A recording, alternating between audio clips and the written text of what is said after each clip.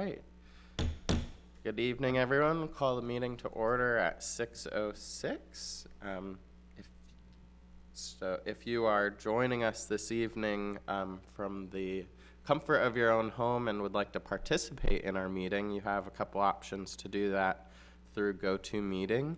Um, You can either join online from your phone or computer, or you can call in. If you'd like to join online and part, watch, um, you can go to global.gotomeeting.com slash join slash one seven nine four two eight four one three, or you can use the access code one seven nine four two eight four one three on the GoToMeeting app, or you can call in using your phone, calling 872-240-3212, and using that same access code, 179-428-413.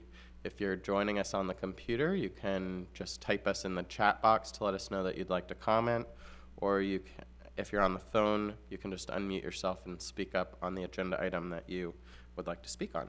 So, um, with that being said, if everyone can stand and join me for the Pledge of Allegiance. I pledge allegiance to the flag of the United States of America and to the republic for which it stands, one nation, under God, indivisible, with liberty and justice for all.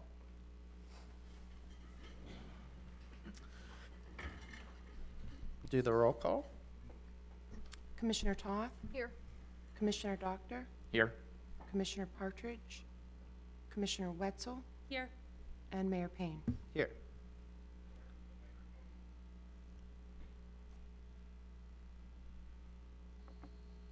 All right. Um, next item is approval of regular and workshop agendas. Do we have any changes to the agendas this evening? All right, hearing none. Um, we have no proclamations, recognitions, or certif- certificates of appreciation this evening. Um, I think city commission, or, yeah, okay, never mind. Next is public comments for non-agenda items. Do we have any public comment on anything that's not on our agenda this evening? We have no online public comments. Okay. All right, next is city commission reports. Commissioner Toth? Alrighty. Well, I just wanted to, um, let you know where we're on the library. The striping will be done this weekend. And so the parking will have to be over across the street at the Winn-Dixie and then just come over if you need to go, if you have any desire to use the library for the weekend on Saturday. We're closed Sundays. Um, also, I just want to wish everyone a safe and happy Fourth of July holiday, and please be careful with the fireworks. As a nurse, I worked emergency, and I know the damage the fireworks can do, so please be safe and be aware of our birds and our turtles. Thanks. Mhm. Commissioner Doctor? A number of compliments have come into our Park and Recreation Department for Triangle Park. I know they've been working hard and getting some new benches over there and some other work to be done. Uh, But uh, a number of residents have recognized uh, the changes, and we appreciate their, uh, their recognition. Uh, Also, I had talked uh, last week about the sidewalk repairs. Uh, Public Works has been out the last couple of days. I believe they are done. If not, there would only be one or two left, but I do believe Mike said they are done. They did a great job with them. Everything looks great. And they uh, did a great job in uh, diverting traffic around where they had to pour the concrete. Um, No complaints from anyone, and that's all good. They're on uh, Gulf Boulevard. And then the last thing I have is just to let everybody know, to be looking for information on beach cleanup. Uh, There will be several different organizations that will be doing beach cleanup on July 5th. And uh, more of that information will be made available, and I'm sure you'll see it in several different sites, uh, and I believe even including the, the cities. So that's all I have. Great, thank you. Commissioner Wetzel? Uh, yes, not too much from my end. I just want to talk about the 84th Avenue beach access, that there um, has been some erosion in the area, and they are um, removing the signage and the bench. And um, Amy, maybe you can clarify, can people still access the beach from that? Are they closing it all off or just not making it an official? We are signing it that it's closed. We hope that people um, respect the, the fact that we do want it closed. Okay, Because, um, it's, it's eroding, as you can see, and it's, um, would, it can be dangerous in terms of just a slip and fall. So that's what we're trying to avoid. and I'm familiar with that area, um, and it is quite a drop, so. It is. Okay, Yeah. So we have, um, uh, work to do with, um, DEP to see if they'll let us do anything to fix that area. okay, D- is there a time frame on? There how long it isn't. takes? Okay, We're just reaching out to them about it. okay, thank you. Mhm. That's all I have?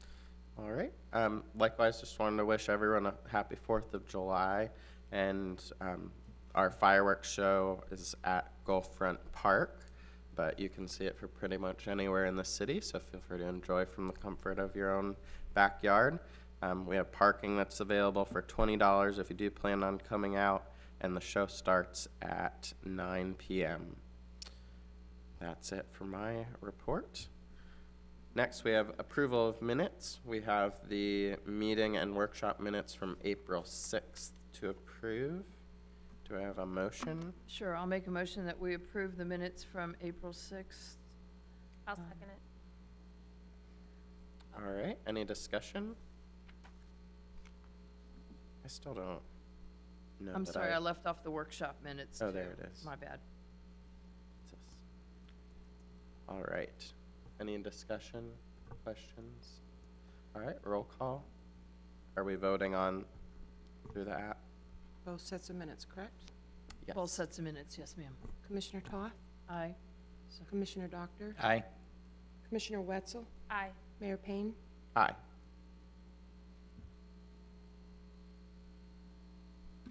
All right. We have nothing on the consent agenda.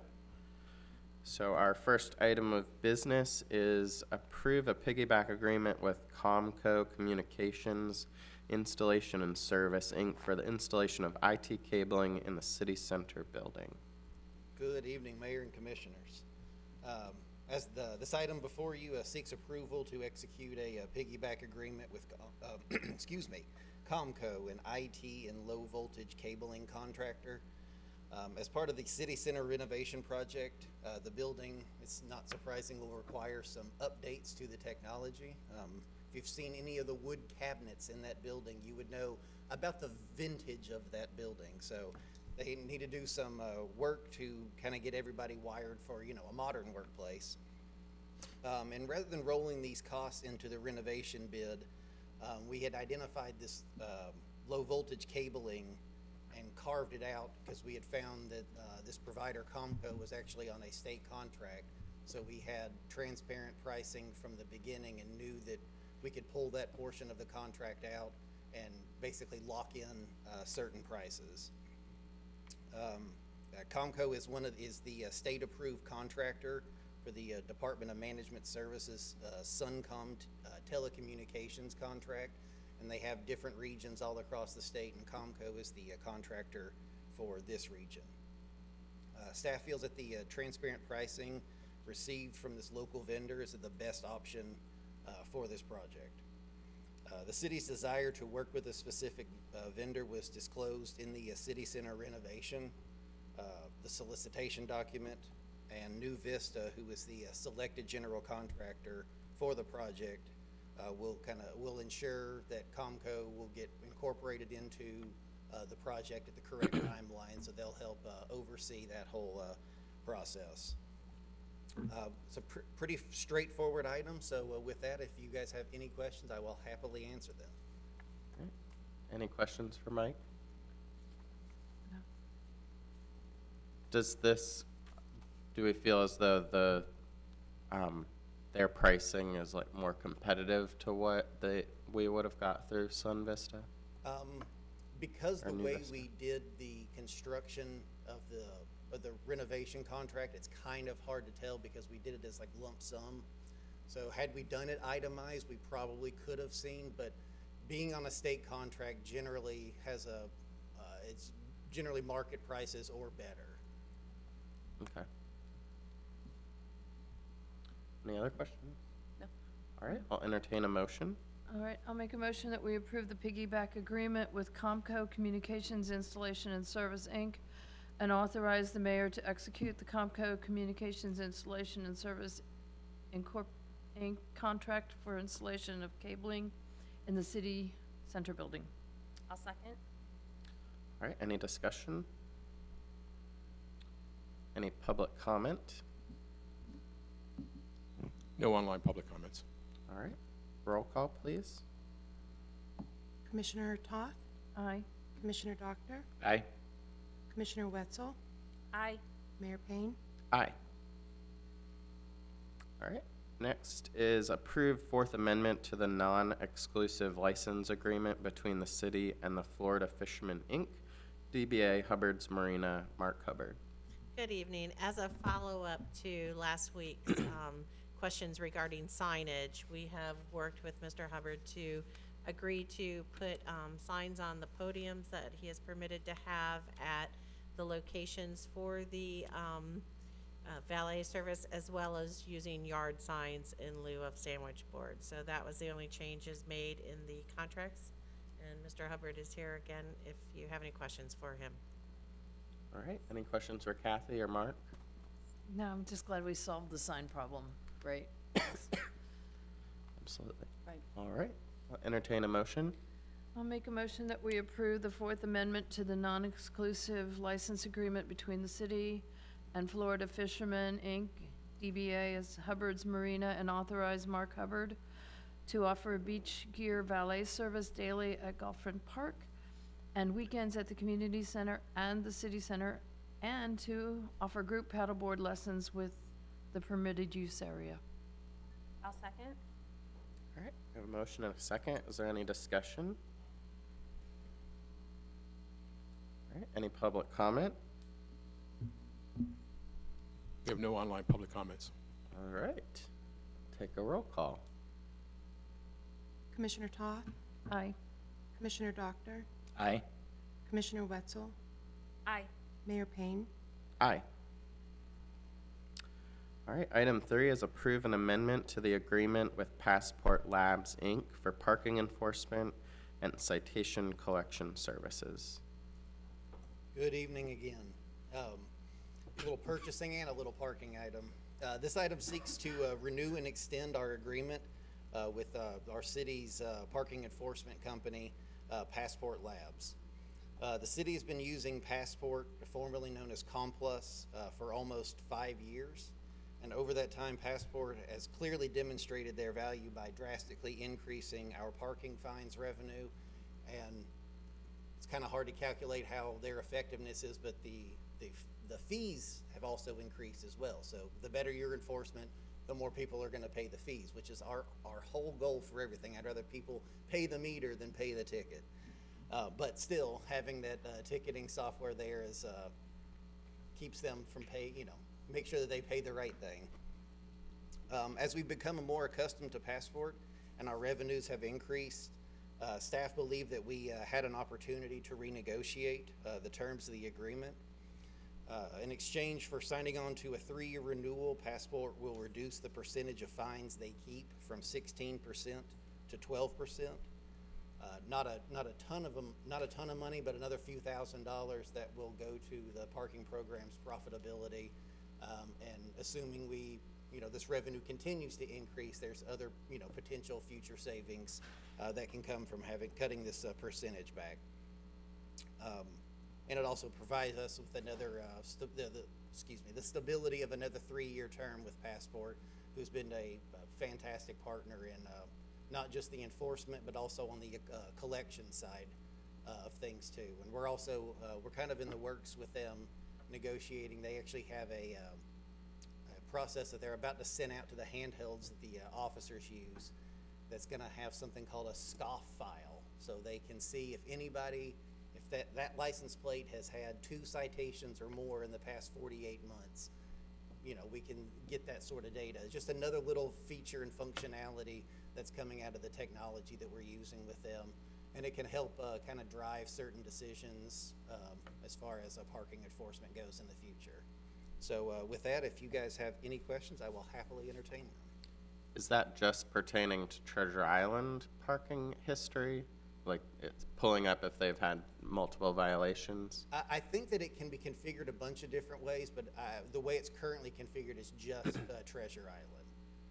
It's, So it's, we, we wanna, we wanna tamp down our, uh, uh, Right. our hi- high volume, uh, Yeah. scofflaws. There's, So there's if we in have particular- that, so if we have that technology in place, we could restructure our fines. Would we be able to penalize like second, third time, or Conceive- multiple repeat offenders? Yeah, with, with that data, it would, uh, allow us to do different things with the fine structure. Okay, great.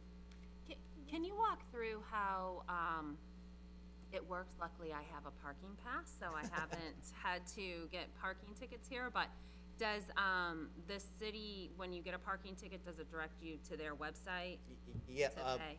about one in every hundred or so people fail to flip the ticket over, but there's instructions on how to pay it. There's an eight hundred number that you can call and pay, uh, uh, over the phone, or you go to, uh, their website and you basically put in all your credit card information.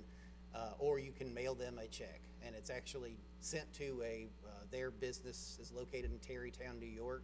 That's their clearinghouse. They process all the checks, and then they just send, uh, or all the payments and send us the, uh, the net difference that we just, uh, collect. And, and if they send checks, since they're made out to the city, whatever that, the current percentage is, we send a check back to them for that percentage of it. And if, uh, somebody doesn't pay, then there, it goes to collections on their end, Af- or? After fifteen days, the, fif- fourteen or fifteen days, the ticket doubles. So if it's a sixty dollar fine, it goes to hundred and twenty, and then stays there. Um, I think after a certain point in time, it goes to, eh, like, they actually will send it to the, uh, clerk of courts, and it, um, becomes a uh, deficient delinquent ticket. And I, I think it, it's one of the things that we can do. I don't know, uh, I, I'd- I would, rather, speaking out of turn, I'd rather let the, uh, the police weigh in to see exactly which tickets they do send to the clerk of court and which ones that they don't, but they have got a, we've got a pretty high, uh, payment rate, uh, enforcement rate for, uh, the citations. I, I probably should know this, but I, do you know if it ends up in a license suspension then, like a D six suspension? I, I, think we, we can, because it's a city citation, I, that is an, another opportunity. I, I don't know at, at what level the, uh, the license becomes suspended. Well, I'm not advocating for No, that. no, no, I, I, I, not- and I don't know at what level. I think so. that the license suspensions punish the people who can't afford it enough, so I'm not advocating for license suspensions. I was just curious. I, I don't believe it's a first strike, but I, I can get that information. I can get, uh, probably the, uh, the police to provide some sort of, uh, you know, when do they send it to what level? And see if they have like a little better breakdown. I, if- if I can just, I think that we, that was when the clerk of courts did that for us, but I think right now, we're in just a collection kind of mode, so there's not a penalty unless they go to cite, they fight the traffic ticket, Yeah, and they go to court. Um, but if they don't pay, then basically it's through a collection process established by Passport. Okay, because I know that the clerks is, they're pretty ruthless It, on. yes, and they used to, so we had it with the clerk of court like five years ago before we went to passport. And for non-payment, they would just suspend your license. Right. And it was immediate. And, um, some people wouldn't know about it. I mean, they were supposed to know about it, but I think it often, you know, fell through the court. But I think that we're through a collection process now and they're not suspending licenses for non-payment unless it's pursued in other manners. Um, Yeah. But we'll double check that. Well, Yeah, that's good, because they do suspend licenses without anything, and if the, the DMV, they just send a notice that your license is suspended to the last address, so if you move and, God forbid, don't update your address right away, then you don't know your license is suspended, and it's really hard to reverse those. I mean, I want people to pay their tickets, but, I don't, well, Passport wouldn't do that on our behalf, and we haven't asked them to ever do anything like that, so. okay. Thank you. All right. We're, we're we're still on questions, so we need a motion. No, we, no, we're good. I, I just wanted, I, I like the idea eventually of being able, with the repeat offenders, mm-hmm. that would be something that we, it's a good resource to do, because then we could also track and trend where that's occurring and, you know, times a day and, and why. you Until know. you have the data, you just don't know, so. it's Exactly, more it data. is cool. There's Well, and with that, I think I've, I've received some comments of like, wow, your like initial fine is like really steep. And I know we did that because we didn't have that mechanism in the past to ratchet it up based on repeat offenses. So maybe we could even lower the first time one because that was, I think, part of the reasoning for bringing it up was because you just, they could just pay it over and over again and so, something to be discussed down the, down the road. There's, there's always something to be changed in parking. Yeah. All right, do we have a motion? Sure. I'll make a motion, we approve and authorize the city manager to execute a three-year extension of this current agreement with Passport Labs. I'll second. Okay, any further discussion? No. All right, do we have any public comment? We have no online public comments. All righty, I'll do a roll call, please. Commissioner Toth, Aye. Commissioner Doctor, Aye. Commissioner Wetzel, Aye. Mayor Payne. Aye. All right, with that, we will adjourn our regular meeting and reconvene for our workshop in just a moment of seconds.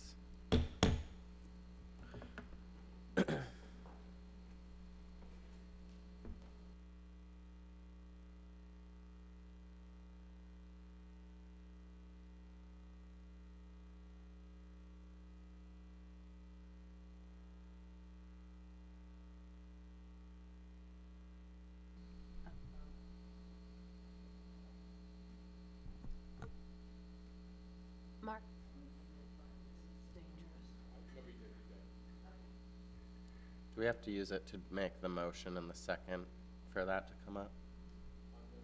Unknown. Okay.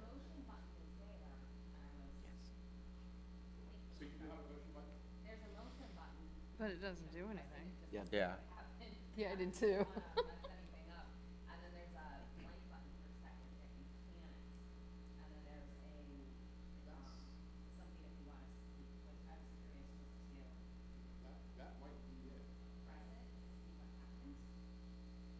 We're probably beyond that, but I think she closed the meeting. Oh, yeah, they're not, So what's the mailbox in thing mean? What's these icons mean? So that information from us allows you to do your job properly. Muted. all right, we good to Yes. go forward? All right, call our workshop to order at six twenty-eight. Unmuted. Um, first thing up is city manager and city attorney reports. I- I don't have a report tonight, other than to wish you all a happy Fourth of July. And I have you. the exact same report. Wonderful. Man, we could have done You that. cheated in off another each other. meeting. All right, uh, we don't have anything for discussion on tonight's workshop. And do we have any public comment that hasn't already been given? We have no online public comments. All right. With that, we'll adjourn our workshop.